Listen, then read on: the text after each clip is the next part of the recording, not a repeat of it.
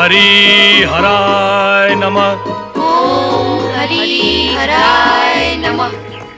ओम हरि हराय नमः। ओम हरि हराय नमः। ओम हरि हराय नमः। ओम हरि हराय नमः। ओम हरि हराय नमः। ओम हरि हराय नमः प्रश्न के लिए क्षमा करें महायोगी राज सुना है आप त्रिकालदर्शी हैं और मृत शरीर में भी प्राण फूंक सकते हैं। अपनी पीड़ा कहो महारानी। मैं अपने पति देव के विषय में जानना चाहती हूँ। महाबली जलंधर के विषय में? हाँ हाँ योगी राज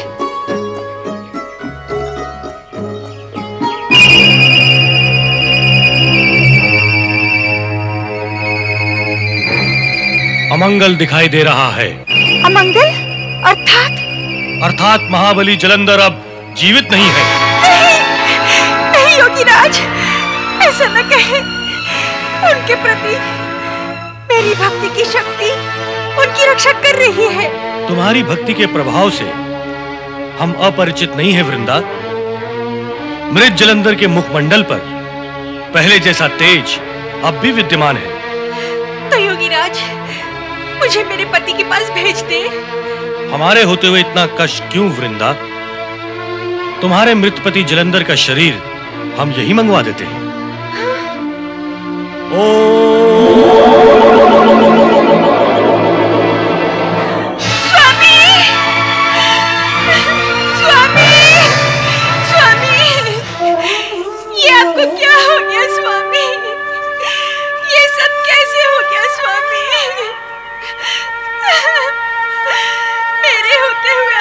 कुछ नहीं हो सकता, स्वामी। आपको कुछ नहीं हो सकता, स्वामी। जागे, स्वामी। स्वामी, जागे, स्वामी। वृंदा, प्रलाप करने की आवश्यकता नहीं है। हम तुम्हारे मृत पति को पुनर्जीवित कर देते हैं।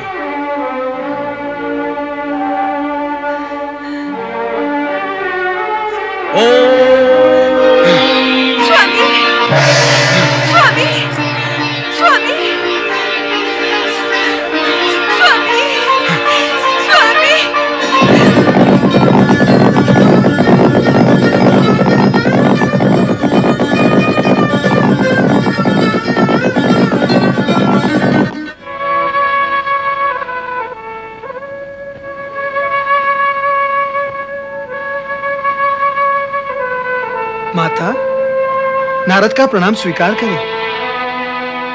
ये क्या? आप अकेली हैं? वो भी उदास? महाप्रभु कहाँ गए हैं? नारद जिस सरलता से तुमने इतने सारे प्रश्न पूछ डाले उसी सरलता से मैं तुम्हारे सभी प्रश्नों का उत्तर नहीं दे सकती। प्रश्न पूछना मेरा आशय नहीं था। महाप्रभु को न देखकर मैं असमंजस में हूँ। वो तो मैं भी हूँ क्योंकि वे किसी धर्म संकट की बात कहकर अचानक अंतर्ध्यान हो गए। स्पष्ट रूप से उन्होंने मुझे कुछ भी नहीं बताया।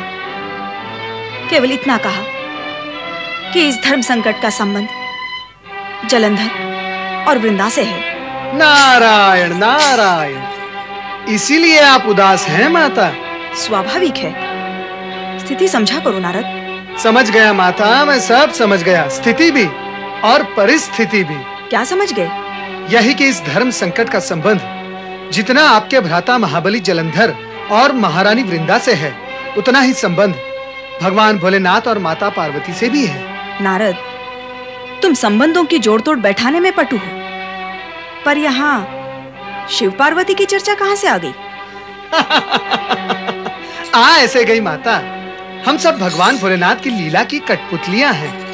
भगवान भोलेनाथ हमें जैसे नचाते हैं हमें नाचना पड़ता है। नारायण नारायण परंतु आप चिंता न करें।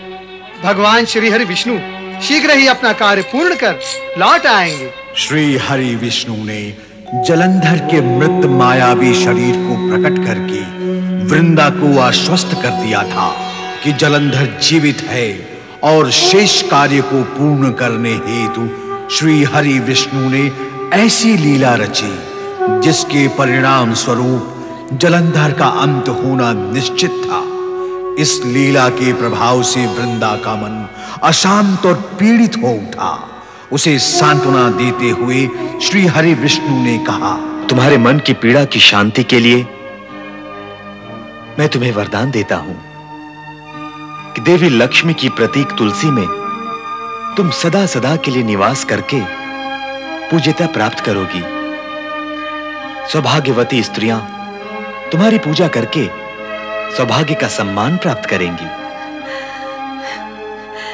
इतने पर भी अब मेरे जीवित रहने का कोई अर्थ नहीं है।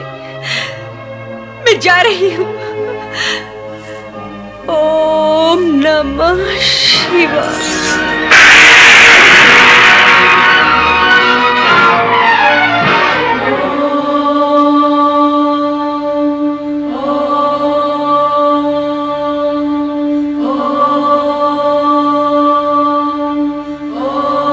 देवी वृंदा ने पंचाक्षरी मंत्र का जाप करते हुए स्वेच्छा से देह त्याग कर मोक्ष प्राप्त किया।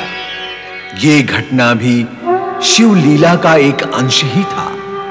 ऐसी शिव लीला जिसका आदि अंत और रहस्य आज तक कोई समझ नहीं पाया। उस लीलाधारी से लीला के वशीभूत होकर